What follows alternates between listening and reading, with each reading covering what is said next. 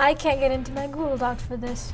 Yeah, I forget what Mr. G said about that this morning in Miss Garish's class. I think you need some sort of password. Wait here, I'll go get it. Okay.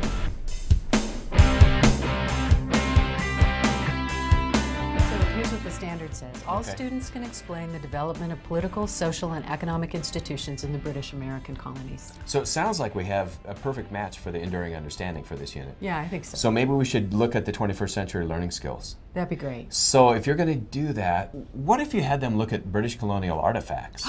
That's a great idea. Yeah. You know what we could do? We could rent a Learjet. We Hmm. could fly everyone to Williamsburg. well, we yay, that gives me an idea. We could fly into Williamsburg virtually. Have you ever heard of a Google Lit trip? No.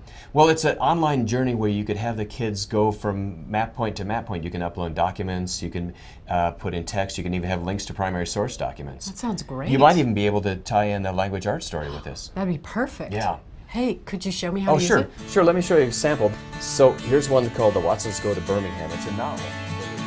You should have seen it. They were in there talking about the Smithsonian and colonies and stuff. What? They're getting excited about teaching colonies? Yeah, Yeah, seriously? who knew they had so much fun planning lessons? Well, in all honesty, a Google Lit trip does sound a lot more fun than just doing a research project on the colonies or something equally gross. Yeah, and two teachers are better than one for sure. yeah, I wish more of our teachers were like Miss Garish and planned their lessons with Mr. G. Absolutely. Hey, do you guys know Mr. G had a tattoo? Seriously? Yeah, I heard he was excited.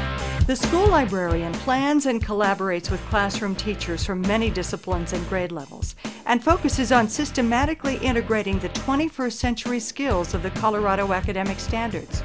The teacher librarian is involved in the assessment and revision of collaboratively planned lessons. Thinking outside the box, our librarian rocks.